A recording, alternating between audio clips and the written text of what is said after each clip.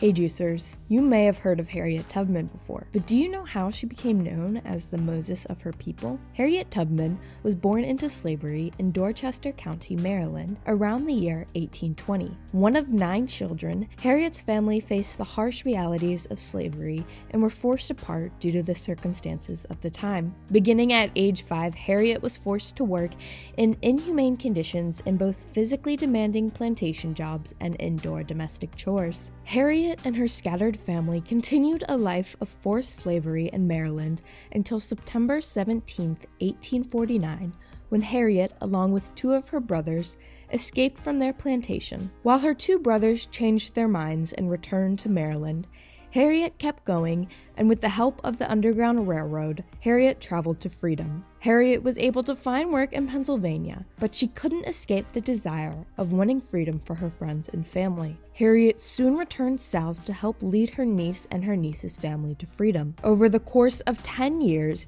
Harriet led more than 70 enslaved people to freedom, and her instructions helped dozens of others find their own way to freedom.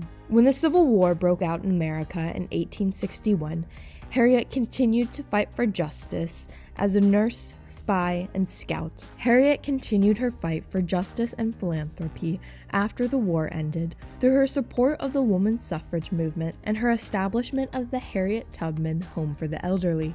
Harriet Tubman passed away in 1913 due to her deteriorating health. However, her legacy continues as generations remember her efforts to bring her people out of enslavement and into freedom. And that's the juice.